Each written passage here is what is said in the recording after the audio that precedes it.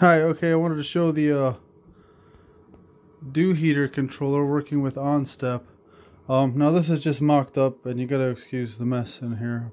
Been pretty busy. Um, now I, I'm going to mount this thing right here on the body. I've got a PCB ordered and I'm going to uh, 3D print a case for it.